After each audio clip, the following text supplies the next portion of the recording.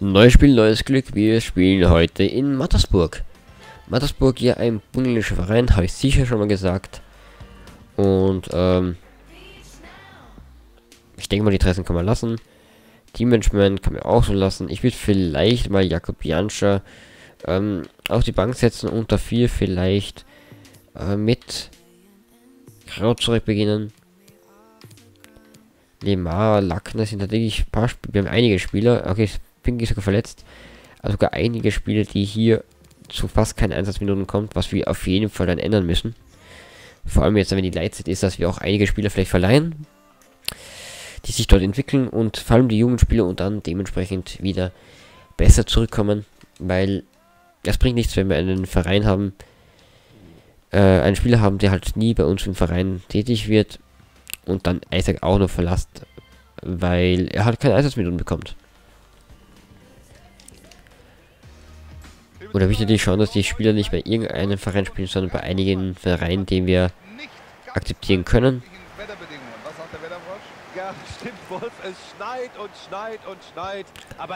Und hier, die Dressen sind ein bisschen schwierig zu erkennen, muss ich sagen. Aber könnte gehen. So. Mattersburg mit der ersten Möglichkeit und 1-0.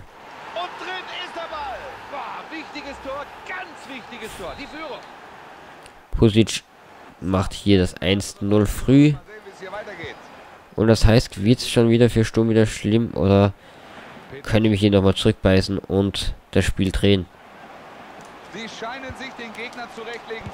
Ja, wir können das Spiel drehen. Wunderschön gemacht. zurück, glaube ich, war das. Bekommt hier mal vom Anfang an die Spielzeit und macht hier dann eigentlich gleich ein Traumtor. Die Flanke hätte ich auch genial gemacht.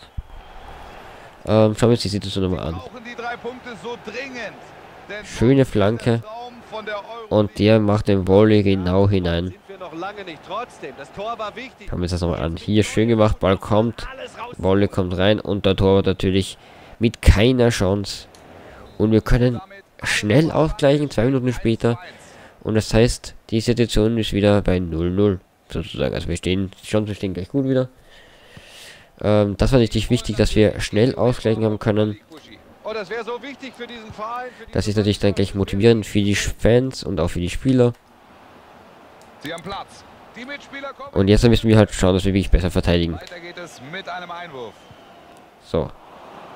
Das war eine richtig gute Möglichkeit, aber jetzt der Ballverlust. Aber Mattersburg ist schon wieder im Angriff. Ja, sie lassen den Ball laufen, so und so wenig die Lücke, das ist natürlich klasse. Und hier Flanke, aber keine Chance. Sicher gemacht von der Sturmabwehr. Malin am Ball. Kein Abseits. Und da ist das 2-0. Ah, 2-1 meine ich. Schlecht verteidigt von Sturm Graz. Schöne Flanke nach innen. Und Pusic mit seinem zweiten Tor. Jetzt steht hier 2 zu 1. Eine enge Kiste. Können wir hier nochmal zurückschlagen. Großreck wieder am Ball, der gerade das 1 gemacht hat. Husbeck, der die Flanke reinbracht hat.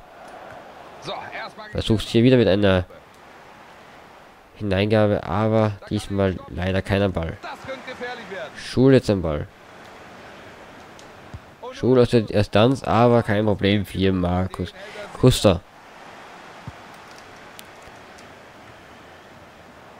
Sie ziehen an der Spitze einsam ihre Kreise, Buschi. Ja, und es scheint ja wirklich super 45 Punkte schon Rapid. 14 Punkte mehr als wir, das ist echt traurig. Also Rapid, der, definitiv die beste Mannschaft.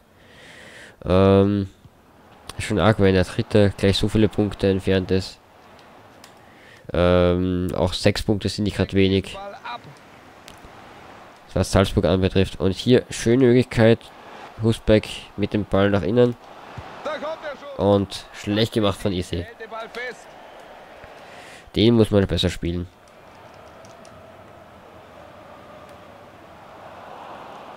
Und Isi mein, auch ein Spieler, der bis FIFA sich nicht wirklich durchsetzen kann. Äh, warum er bei Sturm Graz zu wenig Einsatzminuten kommt, keine Ahnung. Das fragen sich, glaube ich, gerade sehr viele. Großzurek, hier kommt hier schön rein und macht hier das 2-2 dieser Partie. Ausgleich. Mal sehen, wie sich das noch weiterentwickelt. Unser Hoffnungsträger spielt hier durch alle durch und macht dann das 2-2, was wieder wichtig ist. Schauen wir uns das nochmal an. Spielt hier durch alle durch. Und dann einfach schlecht aufwendig gemacht von der Verteidigung. Diesmal aus einer anderen Perspektive. Und der Goli auch hier wenig Möglichkeiten. Ähm, und Großrück sein zweites Tor in der Bundesliga und das beides hier. Also es sind schon mal auf jeden Fall sehr viele Tore gefallen in der ersten Halbzeit, vier Stück. Und ist jetzt mal gerade mal die Hälfte gespielt von der Halbzeit. Also mal schauen, was da noch alles geht. Und hier schön gemacht. Aber hier leider, leider zu ungenau mit dem Kopfball. So, hier Helena ist wieder am Ball. Aber diesmal ganz schlechter Ball. So richtig glücklich sehen da einige Spieler nicht aus, dass sie bei diesen Bedingungen hier... So, und es gibt Ecke. Ja, wen wundert's? Aber da, da müssen wir wieder aufpassen. Mattusburger ist sehr gut in Ecken. Hier auch ganz knapp. Aber Abschluss. Siemandl mit einem weiten Ausschuss. Und wieder Kreuzzeug am Ball. Kann hier aber sich nicht durchsetzen. Und somit ist Mattersburg im Konter. Salomon. Pusic, der seine zweite Tor bis jetzt hat.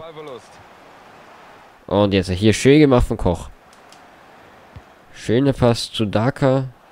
Den Ball spielt er raus.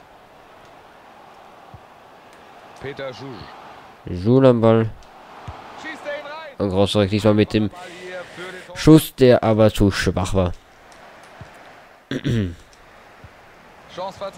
Easy. Schöner Pass wieder zu Groß zurück. Der setzt sich wieder durch. Und wir führen. Schul macht das 3-2. Jetzt haben sie das Ding erstmal im Griff. Ich glaube, das wird noch hochinteressant. Und hier macht er natürlich einen Game provokanten Tanz, sagen wir mal eher so nicht gemein. Wieder schön gemacht von Krozorek.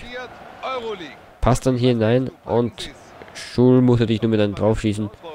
Und keine Chance für den Goalie. Obwohl andererseits, er hätte fast zugekommen können. Schul mit seinem vierten Tor in dieser Bundesliga. Also damit einer der besseren Spieler, was die Torquote angeht von Sturm Graz. Er passt ihn auf den Flügel. Ich weiß gar nicht, wie viel Daka eigentlich schon hat. Aber auf definitiv nicht so viele, glaube ich. So, hier mit einem schlechten Pass. Und wir führen das erste Mal in dem Spiel. Und jetzt müssen wir hoffentlich das einmal halten. Hier, wunderschön gemacht von, äh, von Okay, abseits, Gott sei Dank. Aber auch sehr schön gespielt von Mattersburg. Mit Glück können wir hier sagen, dass wir Abseits gehabt haben. Siebenhandel wäre zwar dran gewesen, aber wir sind hier einfach hinten nicht gerade sehr sicher. Und hier Freistoß noch für Mattersburg. So, er wird den Ball reinbringen und was kann daraus entstehen? Ball kommt rein. Oh. So, damit geht's mit 3-2 in die Halbzeit. Ähm, Schul und zweimal Kreuzrück, die getroffen haben. Äh, sind beide noch alles wie fit. Darker, Esi, ja, Esi bis jetzt auch ein, zwei Schüsse. Davon aber keiner wirklich gefährlich. Und auch Darker noch eher, eher ungefährlich. Also müssen wir immer schauen, dass die Spieler noch ein bisschen aggressiver in die Zweikämpfe gehen und auch mehr Schüsse haben. Spendelhofer jetzt hier frei. Ähm, zu Felipe Ferreira. Der zu Krozarek. Und diesmal verliert er den Ball und leitet somit den Konter 4 Mattersburg ein. Nicht das erste Mal heute. So, Spellhof ist sicher. Zu Fabian Koch. Der zu Husbeck. Der zu Daka. Und Daka verliert dann den Ball. Und es gibt Einwurf für Stuttgart. Peter Schusch. Da passt er auf. Mattersburg jetzt wieder im Konter. Auch dieser Ball kommt an. Aber dann schlecht gemacht. Ich sehe Bewegung auf der Bank. Es gibt gleich den Wechsel. Und wir können nicht jetzt überlegen, ob wir mal wechseln wollen. Krautsurek hier. Jetzt gehen sie über die Flügel. Jetzt ist der Boden natürlich rutschig. Gut für Und 1 Uhr für eine Stunde Graz. Und ich werde jetzt mal das erste Mal wechseln. Äh, hier Leonard, der bis jetzt ja eine mittelmäßige Partie gespielt hat, wechsle ich statt äh, Spieler ein und vielleicht Verteidigung ist eigentlich noch ziemlich fit, also da brauchen wir nichts machen. Wir können mal theoretisch Hosen die Chance geben statt EC. Und schauen, ob er diesmal also, trifft. Und das absolut verdient. Das war ein wirklich starker Auftritt. Einer der besten. Und Hosen gleich mit der ersten Top-Möglichkeit genau ins Kreuzeck, aber leider prallt der Ball von der Latte ab. Und das war abseits. Ja, abseits, richtig. Na, das war wirklich schon mal sehr, sehr toll gemacht von Rosina. Noch nicht mal eine Minute lang drinnen und schon die Top-Möglichkeit zum 4-2. Wird das seine Torchance? Jetzt schießt er. Und da ist das 3-3. Wenn wir das dort nicht machen, dann macht es halt Mattersburg. Und er trifft zum dritten Mal. Genau so. Kidaschwili, nein, Hosen am Ball. Da jetzt war Kidaschwili am Ball. Jetzt der Schul am Ball. Jetzt der Großstreck. Daka.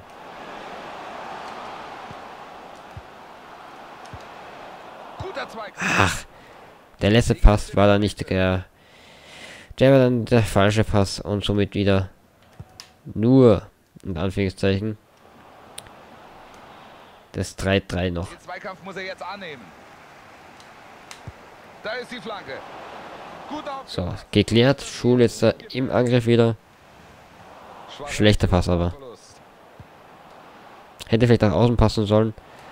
Und wir sehen hier, Schul, der jetzt auch schon ziemlich fertig ist. Und deswegen werde ich ihn jetzt da erlösen und Statt ihm werde ich Jakob Janscha bringen. Wichtiges Tackling hier. Jakob Janscha kann auch sicher im Mittelfeld spielen. Dürfte echt kein Problem sein. Die Fans pushen sie noch mal nach vorne. So, Krozurek, der hier bis jetzt heute meiner der beste Spieler vom Platz war. Und hier ganz schlecht gemacht von Kinderspiele. Und somit ist äh, Wattersburg wieder alleine fast vorne, aber versauen auch diesmal hier den Ball. Aber die Chance ist immer noch nicht vorbei. Es ist noch immer Kontermöglichkeit für... Ach, das war Glück. So. Schöner Pass nach außen zu Husbeck. Der hat jetzt hier ein bisschen Platz. Kann ich hier hineinflanken? Und was macht hier der Spieler? Was macht der hier? Der hätte genau gepasst. Schöner, schöne Flanke von Husbeck. Aber leider nichts draußen gemacht. Und das wäre auch ein bisschen glücklich für äh, Mattersburg, dass hier zum Beispiel nicht mehr drankommt. Hier Hosener. Ja, das sieht gut aus. Und Große kann sich hier nochmal durchsetzen und macht das 4-3. Sein drittes Tor und dieses, das ist der Grund, warum ich in dem nächsten Spiel definitiv in die Startaufstellung lasse. Hier wieder schön nach innen gezogen. Das kann er gut. Und dann ins, ins linke Eck. Flach hinein, schwer zum Halten für Goalie. Und man sieht sich, kurz verstreckt sich zwar noch, aber kommt hier schlussendlich nicht mehr im Ball. Und somit gibt es sieben Tore. Ich meine, das ist schon pff, ein ordentlicher, ein ordentliches Torspektakel hier. Und jetzt hier, sicher. Sieben hat, lass dich jetzt ein bisschen Zeit. Flankt den Ball jetzt weit nach außen. Und Mannsburg am Ball. Es bleiben hier noch acht Minuten. Und es war faul. Da gibt er Freistoß.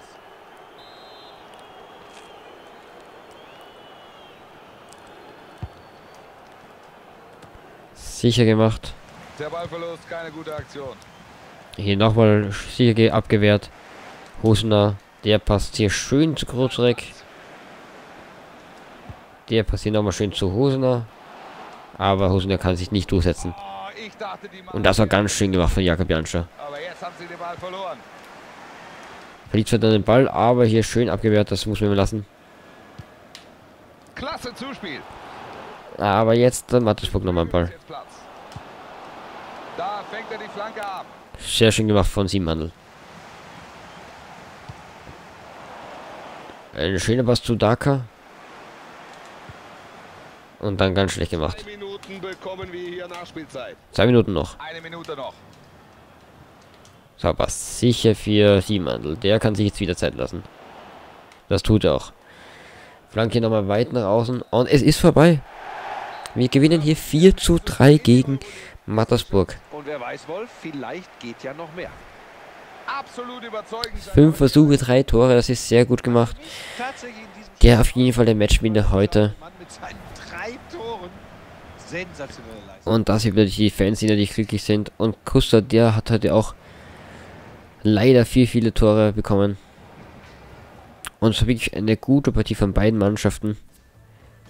Äh, Martin Pusic, der nicht mal ein Bild hat, hat er drei Tore gemacht. Lukas Rosrek auch drei Tore. Und dann geht es noch in Schul, der das vierte Tor von Sturm gemacht hat. Hartberg spielt 2-2 gegen Linz und Innsbruck 0-0 gegen Austria Wien. So, mal schauen. Es ist auch 0.43 Uhr. Das heißt, ich will noch eine Folge aufnehmen. Wer wird Spieler des Jahres 2018? Das können wir uns hier mal ansch anschauen. Hm, Wer laden würde.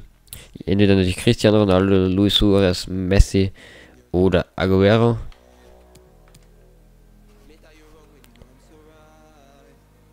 Ich denke mal, es wird Messi. Aber wir werden es dann eh merken. Und dann sage ich schon mal Danke fürs Zuschauen. Es war es wieder mit der Folge. Äh, wir haben jetzt 18 Spiele bis jetzt gespielt. Das heißt, wir sind circa bei der Hälfte. Oder wir sind genau bei der Hälfte, glaube ich. 34 Punkte, das kann man akzeptieren. Also die maximale Punktezahl, die wir jetzt erreichen hätten können, wären. Äh, lass mich überlegen. 18 mal 3 ist 54. Oder 44, 44 Punkte? Nein, 54. Und ja, mit 38 sind wir nicht so schlecht dabei. Ähm, ja, also ich finde, wir sind mit dem dritten Platz ganz gut dabei. Äh, Salzburg zwei Punkte vor uns. Ähm, und natürlich abgeschlagen Rapid mit 11 Punkten vor uns. Und wir können uns mal generell ganz kurz die Tabelle anschauen. Man sieht hier Lask, die letzte Mannschaft mit erst 13 Punkten in 18 Spielen. Danach Hartberg mit 15 Punkten, Wolfsburg mit 16 Punkten. Aber auch Mattersburg und St. Pölten ist nicht gerade wirklich gut dabei. Dann sehen wir uns beim nächsten Mal. Ähm, ich hoffe, euch hat das Video gefallen. Und wir werden natürlich das nächste Spiel gegen Admira spielen, wo wir natürlich die nächsten drei Punkte uns holen wollen. Und wir sehen uns beim nächsten Mal. Ciao.